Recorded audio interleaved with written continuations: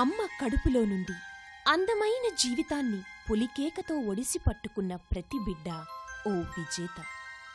చిక్కిన ప్రతి వస్తువును పిడికిళ్ళతో ఒడిసి పట్టుకునే ప్రతి చిన్నారి అవకాశాల్ని అందిపుచ్చుకోవడం అలవర్చుకున్న అద్భుత విజేత. అయితే ఇది ఎవరు ఎవరికి ఎలా నేర్పారు? కాలంతో పోటీ పడటం వెల్లికిలా పడుకోడ నుండి బోర్లా పడటం తప్పటడుగులు వేస్తూ ముందుకు సాగడం. ప్రతి అడుగు ఆలంబనగా విశాల విశ్వాన్ని జయించేందుకు ముందుకు పరిగెడతాడు. విజయాలు సాధిస్తూనే ఉంటాడు. నమస్కారం. ఈనాటి విజేత కార్యక్రమానికి స్వాగతం సుస్వాగతం. ఆయన సినిమాల రేడు. ఆయనకి సాటి మరెవరూ లేరు. నాడు నేడు ఏనాడు. ఆయనే సినీ మొఘల్ చలనచిత్ర చక్రవర్తి doctor D Ramanaidu. The living legend of Telugu cinema. పదండి ఈనాటి మన కార్యక్రమంలో ఆయన విజయ ప్రస్థానాన్ని ఆయన మాటల్లోనే తెలుసుకుందాం. రండి. డాక్టర్ దగ్గుపాటి రామానాయుడు ప్రకాశం జిల్లా కారంచేడు గ్రామంలో పంతొమ్మిది వందల ముప్పై ఆరు జూన్ ఆరవ తేదీన జన్మించారు. ఒంగోలు చెన్నైలలో విద్యాభ్యాసం చేశారు. పంతొమ్మిది వందల అరవై మూడులో తొలిసారిగా అనురాగం చిత్రాన్ని తెలుగులో నిర్మించారు. ఆ తర్వాత వరుసగా తెలుగు తమిళ హిందీ కన్నడం మలయాళం మొదలైన అనేక భారతీయ భాషల్లో నూట ఇరవై ఐదుకు పైగా సినిమాలు నిర్మించారు. రాముడు భీముడు సినిమాతో ఆయన సినీ రంగంలో నిలదొక్కున్నారు ఆ తర్వాత ప్రేమ్ నగర్ విజయంతో సినిమా రంగంలో ఆయన వెనక్కు చూడాల్సిన పని లేకపోయింది. ఆయన దాదాపు డెబ్బై నాలుగు తెలుగు చిత్రాల్ని పద్దెనిమిది హిందీ చిత్రాల్ని రెండు బెంగాలీ చిత్రాల్ని పది తమిళ చిత్రాల్ని నిర్మించారు. ఆయన క్రమశిక్షణకు మారుపేరు. విజయానికి చిరునామా. రామానాయుడు చారిటబుల్ ట్రస్ట్ స్థాపించి వృద్ధాశ్రమం నడుపుతూ వయసు మళ్ళిన వాళ్ళకి ఊతమై ఆశ్రయ ఛత్రమై అరచేతులు అడ్డుపెట్టి కాపాడుతున్న మానవతావాది. చలనచిత్ర రంగంలో సంపాదనను ఆ రంగ అభివృద్ధికే పెట్టుబడిగా Ramanaidu studios Ramanaidu cine village నిర్మించిన ధైర్యశాలి. బాపట్ల నియోజకవర్గం నుండి ఎంపీగా ఎన్నికై నాలుగు సంవత్సరాల పాటు విశేష సేవలు అందించారు. ఆయన కుమారుడు ప్రసిద్ధ సినీ నిర్మాత మరో పుత్రుడు వెంకటేష్ ప్రముఖ హీరో. కుటుంబ జీవితాన్ని పరిపూర్ణంగా అనుభవించిన వ్యక్తి ఆయన. ఆయనతో ప్రతి మాట ఒక అనుభవాల పుట. నమస్కారం రామానాయుడు గారు. దూరదర్శన్ కార్యక్రమానికి స్వాగతం. చాలా సంతోషం. జనరల్గా సార్ చాలా వ్యాపారాలు ఉంటాయి మన లైఫ్లో సెటిల్ అవ్వడానికి. మీరు చెప్పుకోవాలంటే మీరు పెద్ద సినీ విజేత అనుకోండి. బట్ చిన్న క్వశ్చన్ ఏంటంటే ఇన్ని వ్యాపారాలు ఇన్ని రకాల రంగాలు ఉండగా అసలు మీరు సినిమా రంగానికి వచ్చి ఇందులో సెటిల్ అవ్వాలి లైఫ్లో అనేది ఎందుకు అనిపించింది మీకు? నేను సినిమా తీస్తాను సినిమా రంగంలోకి వస్తానని నేను ఎప్పుడు అనుకోలేదు. నేను బేసికల్గా అగ్రికల్చరిస్ట్ని. నేను చదువుకున్నాను చదువు పెద్దగా రాలేదు నాకు. ఇంటర్మీడియట్ తోటి చదువు అయిపోయింది. మాకు అప్పుడు బస్సులు ఉండేవి. బస్సులు మేనేజ్ చేసేవాడిని. అవి కాస్త నేషనలైజ్ అయిపోయింది.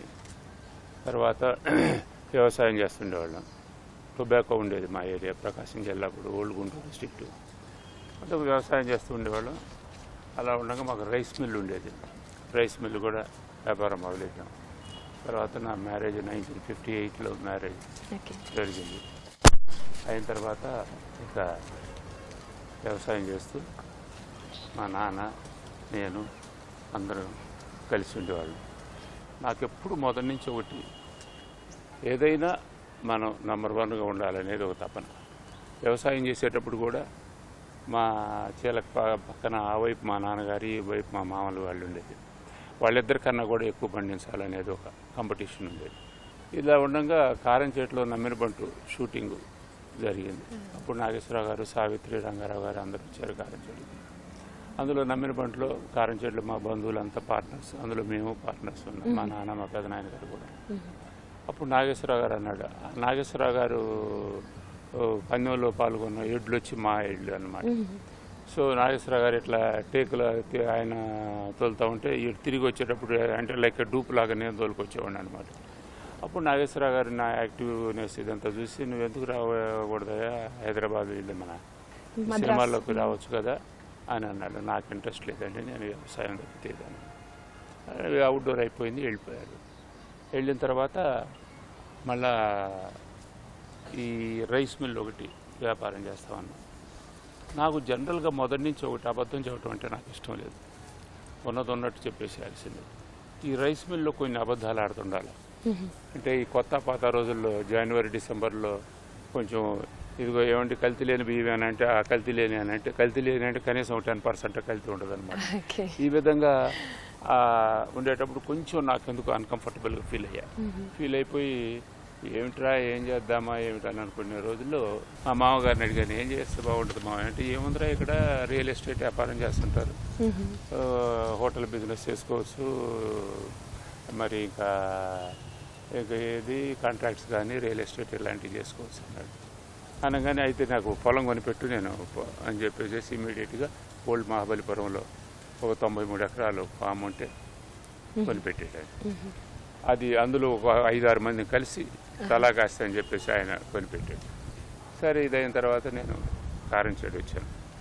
కారంచేడు వచ్చేసి ఇంకా కారంచేడు పోకముందే అక్కడ ఆంధ్ర కల్చరల్ అసోసియేషన్ అనే క్లబ్ ఉండేది. మన తెలుగు వాళ్ళు అందరూ అక్కడ ఉంటారు.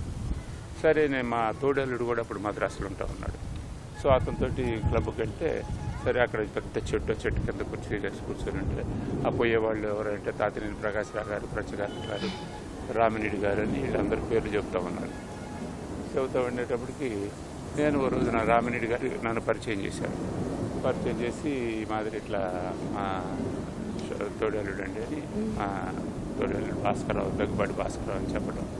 ఆయన ఏమిటి ఏ ఉద్దేశంతో వచ్చారంటే ఇట్లా ఇదని అప్పుడు కొండవీటి దొంగనే ఒక డబ్బింగ్ పిక్చర్ డూండి గారు తీశారు తీసి చాలా పెద్ద హిట్ అయింది. నేను అన్నాను "ఓ పని చేద్దాం మనం ఒక డబ్బింగ్ ట్రై చేద్దాం అనే ఉద్దేశంతో ఇమీడియట్గా నేను రామిరెడ్డి గారిని అడిగా. ఏమండి డబ్బింగ్ చేయాలంటే ఎంత పెట్టుబడి పెట్టాలా ఏమిటని? ఆయన అన్నాడు డబ్బింగ్ ఎందుకయ్యా? మీ ఊరు పక్కన వాళ్ళే పిక్చర్ తీస్తూ ఉన్నారు. నీకు ఇబ్బంది లేకపోతే అందులో పార్ట్నర్లుగా చేరు అని అన్నారు. నేను పార్ట్నర్గా చేరాలంటే ఒకటండి. ఆ స్టోరీ ఏంటో నాకు చెప్పండి. చెప్తే నచ్చితే నేను ఇదవుతాను. సరే ఇమీడియట్గా ఈవినింగ్ నాకు ఫైల్ పంపించారు. అది దట్ ఈస్ అనురాప అనురూప పిక్చర్స్ అని అని వాళ్ళు పెట్టి అనురాగం అనే టైటిల్ కూడా పెట్టుకొని అంతా రెడీ అయి Film కూర్చొని- అనురాగం. తెలుగు అనురాగం. అది ఫైల్ ఇచ్చారు నైట్. ఇవ్వగానే చదివేసి బాగుందండి అని అన్నాడు. అప్పుడు ఆయన అన్నాడు ఏమండి బాగుంది? అన్నారు బాగానే ఉంది. కానీ మీరు నిర్మాత అనేది ఏమైనా ఎక్స్పెక్ట్ చేస్తారేమో. ఆల్రెడీ వాళ్ళు నిర్మాతను presented by so and so Veerayya garu నిర్మాత సూర్యనారాయణ గారు ఈ విధంగా వేసుకుని అంతా రెడీ అయ్యారండి. మీకు పార్ట్నర్షిప్ మాత్రమే ఇవ్వగలరాను. నేను అన్నాను నాకు పేరు వద్దండి. But one thing and one condition I join as a partner I must know everything what is cinema making ప్రతి డిపార్ట్మెంట్లో నేను ఇంటర్ఫీర్ అవుతాను. నేను నేర్చుకోవాలని నేను అంటే ఆయన జోక్ వేసాడు. అయితే క్లాప్ కొడతావా నువ్వు అని. క్లాప్ కాదని ప్రొడక్షన్ బాయ్ చేయమన్నా చేస్తానండి నేను. నేను ఏమిటి సినిమా మేకింగ్ ఏమిటో తెలుసుకోవాలి. తెలుసుకోవాలి. ఆ కండిషన్ కనుక మీరు కనుక ఓకే అంటే నేను చేస్తానన్నాను దానికి వాళ్ళు ఒప్పుకున్నారు. నేను ఇమీడియట్గా ఇరవై వేల రూపాయలు పెట్టి పెట్టాను. పెట్టి నేను కారం చేడు వచ్చాను. నేను నా భార్య పిల్లల్ని తీసుకొని సిక్స్టీ టూ జూన్లో బయలుదేరి మద్రాసుకి వచ్చేసాను. వచ్చేసి కనురాగం మొదలెట్టాం. మొదలెట్టేసేసి ఇదేటప్పుడు చైనా వారు ఏదో వచ్చి వచ్చి ఓ రెండు మూడు నెలలు లేట్ అయిపోయింది. అప్పుడు సేమ్ మా కజిన్ బ్రదర్ దగ్గుబాటి లక్ష్మణ్ గారు అన్నాను సార్ వాళ్ళు కూడా అప్పుడు పూజా ఫలం కామేశ్వర గారితో చేస్తూ ఉన్నారు. నాకు ఎప్పుడు కూడా మన ముందు ఉండాలా మన పిక్చర్ ముందు రావాలి అనేది ఒక తపన. సో అప్పుడు ఆ పిక్చర్ కన్నా చెప్పారు తొందర. తొందర చేస్తే సో అనురాగం మనం దానికన్నా ముందు రిలీజ్ చేయాలని చెప్పేసి అనురాగం ఇచ్చేయటం భానుమతి గారు అప్పుడు అందులో హీరోయిన్ భానుమతి జీవో లక్ష్మి షౌకర్ జానీ గారు గుమ్మడి గారు హీరో ఆ పిక్చర్కి అర్నాథ్ బాబు వాసంతి వీళ్ళందరూ ఉన్నారు రేలింగ్ గారు రమణారెడ్డి పెద్ద స్టార్స్. సరే మొత్తానికి పిక్చర్ ఫినిష్ అయిపోయి నైన్టీన్ సిక్స్టీ త్రీ జూలైలో రిలీజ్ చేసాం చేసేటప్పటికి ఆ పిక్చర్ వర్షాలు పట్టుకున్నాయి. ఓకే. జూలైలో వర్షాలు అయ్యేటప్పటికి అనుకున్నంతగా రెవెన్యూ రాలే. డిస్ట్రిబ్యూటర్ డబ్బు వచ్చింది మా డబ్బు పోయింది మా ఇన్వెస్ట్మెంట్ పోయింది సరే నేను అన్నాను కమాన్ ఇమీడియట్గా మనం స్టార్ట్ చేద్దామని. అప్పుడు మా పార్ట్నర్స్ అన్నారు మీరు ఏదన్నా ఉద్దేశం ఉంటే మీరు సపరేట్గా తీసుకోండి మా వల్ల కాదు మేము ఇమీడియట్గా పెట్టుబడి పెట్టలేము సరే అప్పుడు మా అబ్బాయి పేరుతో సురేష్ బాబు పేరుతో ప్రొడక్షన్ సురేష్ ప్రొడక్షన్స్ అని పెట్టి తాపి చాణిక్య గారిని డైరెక్టర్గా తీసుకొని నరసరాజు గారు రైటర్ ఇది తీసుకుని అప్పుడు కొసరాజు రాఘయ్య గారు అని మా రిలేటివ్ అవుతారు. ఆయన సజెస్ట్ చేశాడు చాణక్య గారు నేను రాఘయ్య అప్పుడు రామారావు గారు నేను అప్రోచ్ అయితే చేస్తాను అన్నారు. రామారావు గారికి మా ఫ్యామిలీని గురించి తెలుసు బాగా. తెలుసు తర్వాత తప్పకుండా చేస్తాను అనగానే అప్పుడు నరసరాజు గారు ఈ రాముడు భీముడు స్టోరీ చెప్పడం. Dual role first time first dual role first dual role for Rama Rao garu also సరే చేసేటప్పుడు అప్పుడు ఆయన రామారావు గారితో తోటి సబ్జెక్ట్ చెప్పగానే చాలా బాగుంది బ్రదర్ నేను చేస్తున్నాను అన్నాడు. సినీ నిర్మాతగా మీరు సెటిల్ అవ్వడానికి లేకపోతే ఒక మలుపు తిప్పిన ఘటన లేకపోతే ఒక సినిమా కానీ ఏదైనా ఉంటే దాని గురించి కొంచెం వివరిస్తారు? నేను మర్చిపోలేంది తర్వాత మనకు చాలా ముఖ్యమైన విషయం.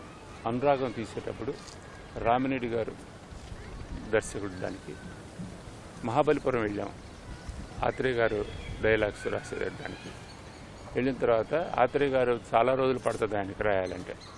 సరే ఆయన ఆయన రూమ్లో కూర్చునేవాడు నాకు తొందర ఎక్కువ కదా మేమిద్దరం బీచ్ ఒడ్డున కూర్చొని మధ్య మధ్యలో పోయేసి ఏమైనా రాశాడేమో నేను చూడటానికి అని చెప్పి ఆయన బాత్రూంలో పోయినప్పుడు చూడటం ఇదంతా చేసేవాడిని. అట్ట పోకూడదు అయ్యానని నేను రామిరెడ్డి గారు చెబుతుండే అని చెప్పి ఎందుకు సినిమా ఫీల్డ్ ఇలా ఉంది? ఏమిటి దీని ఇదని చెప్పేసేసి ఒక పిక్చర్ సక్సెస్ అయినా విడిపోతారు ఫెయిల్యూర్ అయినా విడిపోతారు. దేనికి విడిపోతారు? ఎందుకు ఇదని చెప్పేసి కంప్లీట్గా ఆయన హిస్టరీ చెప్పాడు. ఇలా వస్తే ప్రెస్టేజ్ కోసమైన ఒకరు ఈగో ప్రాబ్లమ్స్ ఒకరు వ్యాపారం మర్చిపోయేసి అదర్ వాటి మీద కోరికలు పెంచుకొని ఇలా చెడిపోతాలు జరుగుతాయి అని చెప్పేసి అందులో మంచి చెడులు అన్నీ చెప్పారు don't mix your pleasure in making of the movie అంటే సపోజ్ మీరున్నారు నాకు బాగా తెలిసిన వాళ్ళు అమ్మాయి అని మిమ్మల్ని హీరోయిన్ చేస్తానని లేకపోతే ఎవరినో తెలిసిన అబ్బాయిని తీసుకొచ్చి హీరో చేస్తానని లేకపోతే లవ్ అఫేర్ పెట్టుకున్నాను ఇలాంటి పిచ్చి పిచ్చి ప్లాన్లు చేసేస్తే ఉండరు దెబ్బతింటాం ఏదైనా ప్రొఫెషనలిజం అంతే business is business don't mix our pleasure personal interest in the making of the movie దాన్ని వ్యాపారంగానే మనం చేయాలి తప్పనిచ్చి అది వదిలిపెట్టేసేసేసి ఎవరో చెప్పాడనని రికమెండేషన్లతోటి మన ఆర్టిస్ట్ని బుక్ చేయటం కానివ్వండి టెక్నీషియన్ బుక్ చేయటం కానీ అలాంటివి జరిగితే మాత్రం దెబ్బతింటాం if you go through the history of the cine field eighty percent is like that రెండోది ఫెయిల్యూర్ వచ్చినప్పుడే ధైర్యంగా ఉండాలి. సక్సెస్ వచ్చినప్పుడు ఒదిగి ఉండాలి ఒక సక్సెస్ రాగానే ఇంకెందుకు ఆ రోజు పగలగొట్టి రోజు బాటిల్స్ కొట్టేసేసి మందులు తాగి నానా సరదాగా చేసేసి అలాంటివి చేస్తే ప్రయోజనం లేదు. ఎప్పుడు ఫెయిల్యూర్ వచ్చిందనుకోండి ఇప్పుడు మీరు బాగా నాకు తెలిసిన వాళ్ళు కూడా మీరు వస్తున్నారంటే నేను పరిగెత్తను ముఖం చూపించడం కూడా భయపడి అలాంటివి ఉండకూడదు. ఎప్పుడు ఫెయిల్యూర్ వచ్చినప్పుడే ధైర్యంగా ఉండాలి. నాకు ఇది నాగిరెడ్డి గారికి చెప్పారు నాయుడు ఎప్పుడు ఇండస్ట్రీ లేదనుకో హౌస్ ఈజ్ ద టెంపుల్. భార్య దేవత అనుకో and the business is business don't have any broad forward in the life Telugu cine జగత్తుకి విశ్వవిఖ్యాతమైన కీర్తి తెచ్చే విధంగా మీరు Guinness book of world records దాంట్లో మీ పేరు నమోదు చేసుకున్నారు. మరి ఇంకా కూడా ఈ తెలుగు సినీ జగత్తులో మిమ్మల్ని మీరు ఇంకా ఏం సాధించాలనుకుంటున్నారు? నేను మొట్టమొదట భగవంతుడి దయ వల్ల నాకు నేను I think only Suresh production who has taken all the new subjects except three four subjects తప్ప నుంచి చంటి ఒకటి ఇంకా రెండోది అమ్మాయిల శబ్దం అని అని ఒకటి. రెడ్డి గారు టెమ్మెల్లో తీసుకొచ్చిన తప్ప నుంచి అన్ని కొత్త స్టోరీలు మన ప్రేమనగర్ కానీ నవల్స్ అన్ని నవల్స్ మేజర్ నవల్స్ తీసాం ఇదంతా చేశాం. చేసి ఇలా తీసుకుపోయేటప్పుడు తెలుగు హిట్ కాగానే నేను I go for Tamil. Tamil కాగానే హిందీ పోయేవాడిని. సో మూడు లాంగ్వేజ్ల్లో నేను కంటిన్యూస్గా వస్తా ఉన్నాను. ఒకే చోట అనేది కాకుండా కాకుండా. బ్యాలెన్స్ బ్యాలెన్స్డ్గా అప్పుడు అనిపించింది మూడు లాంగ్వేజ్ లేని ఇంకా ఉన్నాయి కదా why can't we go for other languages అని then I started going for Kannada then కన్నడే కాదు అన్ని లాంగ్వేజ్లు తీయాలనేది ఒక కోరిక కలిగింది. And we must be number one ఉండాలి. ఎప్పుడు అది మాత్రం ఎప్పుడు ఎవరైనా సరే మీరు కానీ ఇప్పుడు మీరున్నారు మీరు చేసే దీంట్లో మీరు నంబర్ వన్ అనిపించుకోవాలనే దాంట్లో తప్పు లేదు. వాళ్ళు పోవాలా మనం బాగుండాలని అంటే తప్పు తప్పనిచ్చి. I must be number one అనుకునే దాంట్లో ఎప్పుడు పొరపాటు లేదు అది హెల్తీ కాంపిటీషన్ ఒకళ్ళు నాశనం అవడమో పతనం అవడం ద్వారా మన అభివృద్ధి కాకుండా మనం ముందంజ వేస్తూ ఇంకొకరికి అంతే. ఆల్వేస్ హెల్తీ కాంపిటీషన్ అనమాట ఆ విధంగా నేను అయిన తర్వాత అప్పుడు అనిపించింది it's better to go for all languages అని. అని అప్పుడు ఈ నేను వరుసన బికా నాకు వేరే అదర్ బిజినెస్ ఏమీ లేదు. I'm not interested in any other business only film making Nagi Reddy గారి ఇన్స్పిరేషన్ వాళ్ళంతా చూసి దాన్ని ఒక్కోటి ఒక్కోటి ఈ దాన ధర్మాలు చేయాలనేది ఒక కోరిక కలిగేది. ఇప్పుడు మామూలుగా ఒక మ్యారేజ్కి వెళ్ళాం హైదరాబాద్ మద్రాసులో. రాజేశ్వరి కళ్యాణ మండపం ఏవిఎం చెట్టియారు గారు. ఆ కళ్యాణ మండపంలో ఇది ఎవరిదనంటే ఏవిఎం చెట్టియారు గారు పెద్ద నిర్మాతయ్య. ఆయన ట్రస్ట్ ద్వారా కట్టించాడు ఇది. ఇదే కాదు ఇంకా స్కూల్స్ కూడా కట్టించాడు ఆయన. ఓహో అట్లాగా. సరే నాకు సోగ్గాడ్ సినిమా రిలీజ్ అయింది. పెద్ద సక్సెస్ అయింది. ఇమీడియట్గా డబ్బులు తీసుకుపోయి కారం చెడిపోయి మా అమ్మ పేరుతో కళ్యాణ మండపం కట్టించాం. లక్ష్మీ అమ్మ కళ్యాణ మండపం అలాగే బీచ్ రోడ్లు పోతాయేటప్పుడు T T Krishnamachari memorial hall అనే ఉండేది. ఎప్పటికైనా నా పేరు అట్ట గోడ మీద ఎక్కుతుందా అనేది అనుకునేవాడిని. అనుకొని ఈ సక్సెస్ఫుల్ ప్రేమనగర్ ఇవన్నీ అయిన తర్వాత అప్పుడు ఆంధ్ర సోషల్ కల్చరల్ క్లబ్ని నేను ఏ చెట్టు కింద కూర్చొని నిర్మాత అయ్యానో దాన్ని మనం ఒక బా రామానాయుడు కాంప్లెక్స్ అనేది పెట్టాలనే దీంతో నేను మన ఆర్టిస్టులందరి దగ్గర డొనేషన్స్ కలెక్ట్ చేసి అలా ఐదు వేల రూపాయలు నేను పదిహేను లక్షల పైన ఇచ్చి దాన్ని రామానాయుడు కాంప్లెక్స్ అని పెట్టి దానికి నేను మర్చిపోలేని జీవితంలో. నీలం సంజీవ్ రెడ్డి గారు ప్రెసిడెంట్. వారిని ఫౌండేషన్కి తీసుకొస్తే నేను పోయి అడగంగానే వస్తాను నాయుడు అన్నాడు. మన ఆర్టిస్టులు కూడా జయసుధ శ్రీదేవి జయప్రద అందరు పెద్ద పెద్ద అమౌంట్స్ కూడా ఇచ్చారు.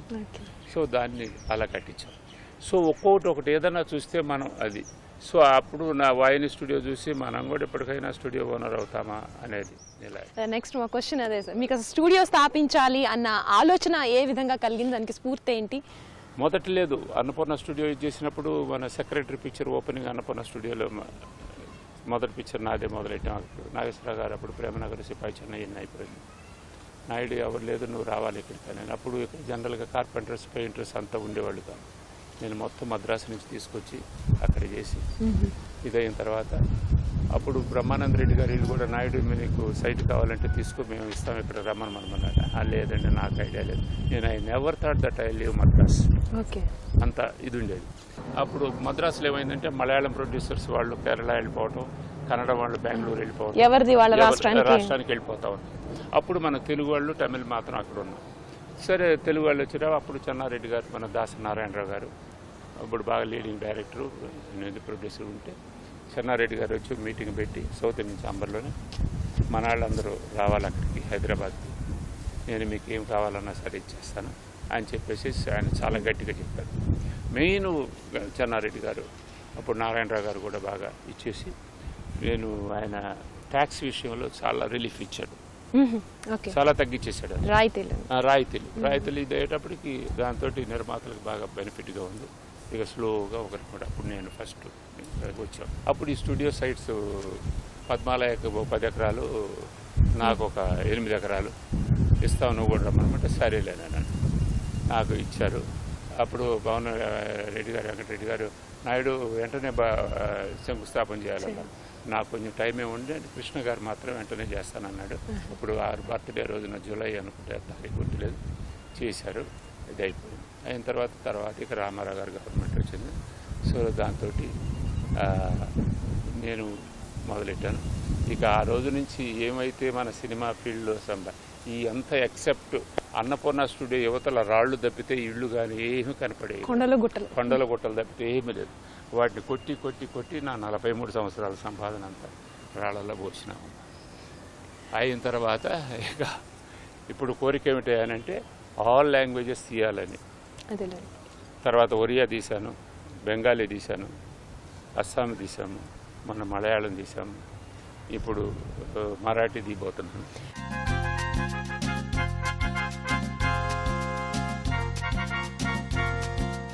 సార్ మీరు ఒక సక్సెస్ఫుల్ నిర్మాత ఒక నిత్య విజేత అని చెప్పొచ్చు. ఈ సక్సెస్కి మీరు ఇచ్చే నిర్వచనం ఏమంటారు సక్సెస్ అనేది వీ మస్ట్ వర్క్ హార్డ్ ఒక సక్సెస్ వస్తే ఎగిరి పడకూడదు. ఒక ఫెయిల్యూర్ వస్తే దిగజారిపోకూడదు ఎవ్రీ పిక్చర్ నేను ఇన్ని సి- ఇప్పుడు వంద సినిమాలు దాటిపోయినాయి. ప్రతి పిక్చర్ నేను కొత్త పిక్చర్ మొదటి పిక్చర్ అనుకుంటాను. We must know everything what is happening నాకు తెలుసులే అని నిర్లక్ష్యంగా నిర్లక్ష్యం ఉండకుండా. ఉండకూడదు. ఏం జరుగుతుంది? ఇవాళ షూటింగ్ ఇవాళ కూడా ఈ రోజు కూడా నేను చూడాల్సిన పని లేదు. షూటింగ్ జరిగిందంటే నేను ప్రొడక్షన్ సాయంత్రానికి కాగితం తెమ్మనమంటాను ఈ రోజు ఎంతమంది జనం ఉన్నారు? ఎన్ని క్యారియర్లు తెచ్చారు? ఎంత డబ్బు అయింది? ఏమిటి అనేది. ఎప్పుడైతే మనం వాటి మీద అంత కాన్సన్ట్రేట్ చేశామో కంప్లీట్గా టోటల్ స్టాఫ్ కూడా వెరీ అమ్మో అయ్యగారు వస్తారు చూస్తారు జాగ్రత్త and more than that the producer must know what is happening tomorrow అంటే ఈ స్టోరీని గురించి తనకు తరువుగా అండర్స్టాండ్ ఉండాలి. షెడ్యూల్ అనేది ఎలా చేస్తున్నాము ఏమిటి అనేది ఎవరి కాల్ షీట్ ఏమిటి అనేది ఒకటి. నేను జనరల్గా ఆర్టిస్ట్ను కూడా ఒకటి అడుగుతాం. ఒక ఆర్టిస్ట్ను బుక్ చేయడానికి పోయినప్పుడు మూడు క్వశ్చన్లు అడుగుతానని చెప్పామండి హిందీ పిక్చర్స్ ఇచ్చేటప్పుడు ఏమిటండి అని అన్నాను. ఒకటి మీ డెలికేట్ మ్యాటర్ అంటే మీరు రెన్యూమరేషన్ ఏం తీసుకుంటారు?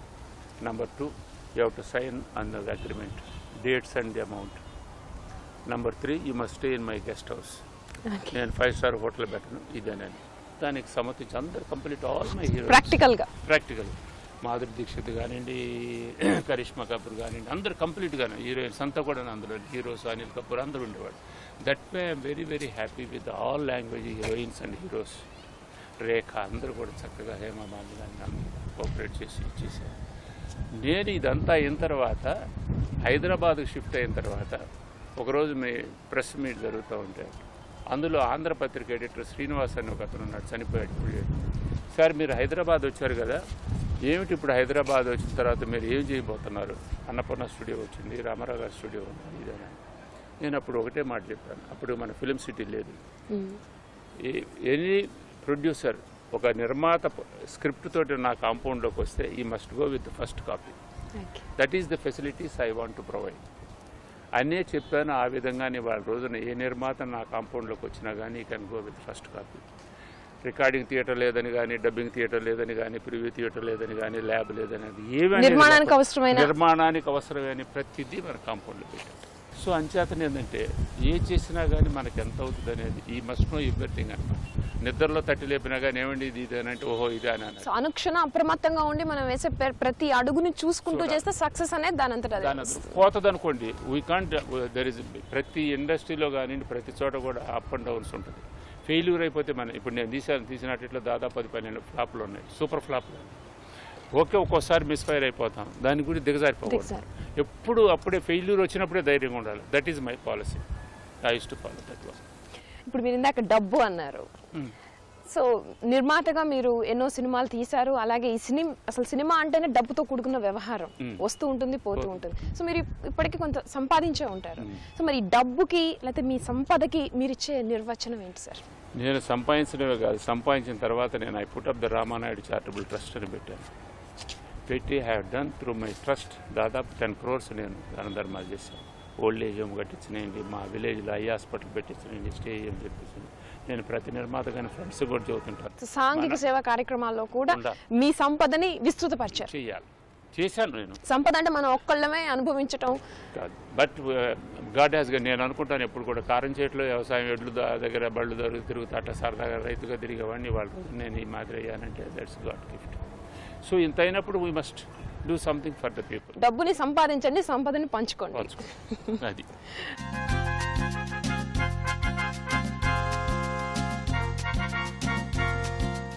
మన భగవంతుడి వల్ల బాగున్నాము we must do something for the our people అని అని అనుకున్నాను అనుకొని అప్పుడు నేను చంద్రబాబు గారి గవర్నమెంట్ బాబు నేను బాపట్ల నుంచి కంటెస్ట్ చేస్తానని ఏమయ్యా అనుకో ఒకసారి నేను అడిగితే చేయనన్నావు కదా నాకు అప్పుడు లేదండి ఇప్పుడు జస్ట్ ఐ వాంట్ సార్ మనం చేసేది త్రూ గవర్నమెంట్ చేస్తే ఇంకా విస్తృతంగా విస్తృతంగా చేయొచ్చు అనే ఉద్దేశంతో నేను అడిగాను బాపట్ల సీట్ ఇచ్చారు గెలిచాను.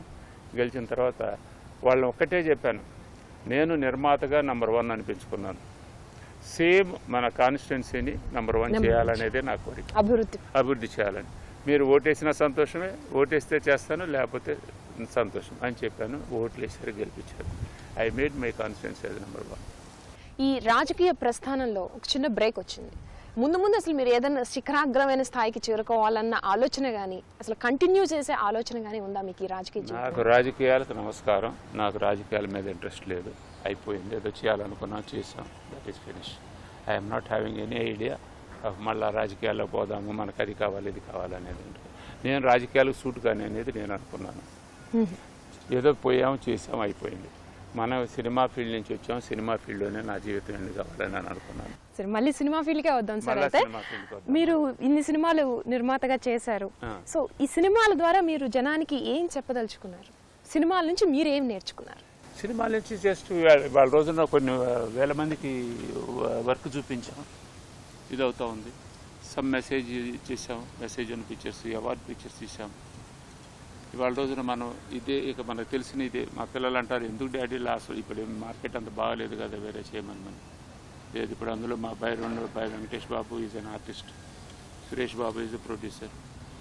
So ఇప్పుడు నా కళ్ళ ఏంటంటే మా వాళ్ళ పిల్లలకు కూడా ఎందుకు డాడీ అనవసరంగా వై డోంట్ రిలాక్స్ నీకు వయసు కూడా వచ్చేసేసింది హాయిగా చక్కగా రిలాక్స్ నేను relax కాలేను.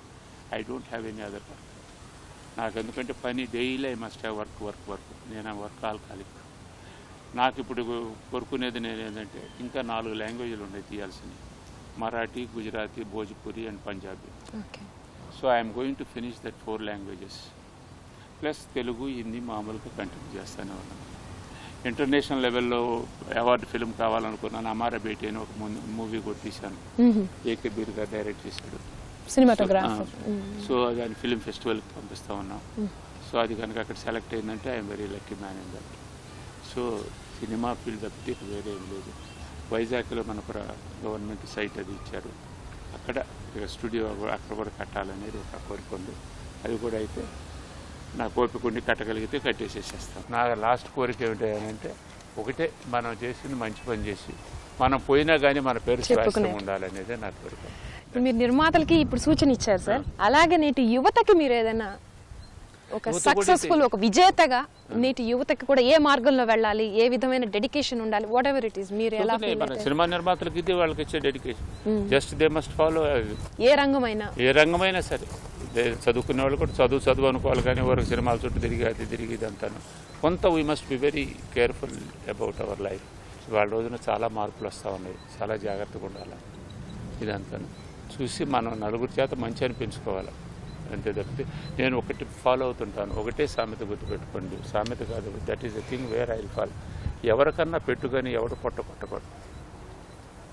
I use to follow that thing ఎవరికన్నా పెడతాను తప్పితే ఎవరు పొట్ట కొట్టకూడదు. And don't have any vengeance అని ఎనీబడి ఇందాక కూడా చెప్పారు మన సక్సెస్ అనేది ఒకరి నుంచి నేర్చుకునే విధంగా ఉండగాలి ఒకళ్ళ పతనం నుంచి మనం సక్సెస్ అనేది మనం నంబర్ వన్ ఉండాలనేది మాత్రం నా కోరిక సో ఈ రెండు విషయాలు నేను ఫాలో అవుతుంటాను.